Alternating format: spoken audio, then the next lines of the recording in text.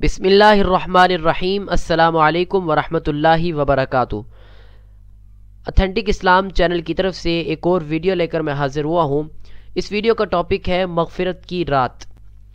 हज़रत अबूबकर सिद्दीक रज़ी अल्लाह तु नबी अकरम सल्लल्लाहु अलैहि वसल्लम से रिवायत करते हैं कि आप सल्लल्लाहु अलैहि वसल्लम ने फरमाया, अल्लाह ताला पंद्रहवीं शाबान की रात में आसमान दुनिया की तरफ़ अपनी शान के मुताबिक नज़ूल फरमाते हैं। और इस रात हर किसी की मगफरत कर दी जाती है, सिवाय अल्लाह के साथ शिरक करने वाले के या ऐसे शख्स के जिसके दिल में बुग्स हो।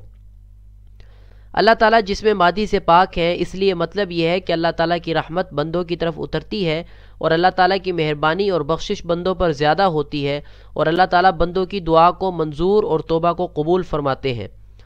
हज़रत मुआज बिन जबल रज़ी अल्लाह तु की रिवायत है कि रसूलुल्लाह सल्लल्लाहु अलैहि वसल्लम ने फरमाया अल्लाह ताला पंद्रहवीं शब में तमाम मखलूक की तरफ़ तजल्ली फरमाता है और सारी मखलूक की सिवाय मुशरक और बुग्ज़ रखने वालों के सब की मगफ़रत फरमाता है। हज़रत औफ बिन मालिक रज़ी अल्लाह तु फरमाते हैं कि रसूलुल्लाह सल्लल्लाहु अलैहि वसल्लम ने फरमाया, शौबान की पंद्रहवीं रात में अल्लाह पाक अपनी मखलूक पर रहमत की नज़र फरमाते हैं, सिवाय मुशरक और कीनावर के बाकी सबकी मगफरत फरमा देते हैं। हज़रत अबू हुररा रज़ी अल्लाह तु से रिवायत है कि रसूलुल्लाह सल्लल्लाहु अलैहि वसल्लम ने फरमाया, शौबान की पंद्रहवीं रात होती है, अल्लाह ताला सिवाय मुशरक और कीनावर के बाकी सब की मगफरत फरमा देते हैं।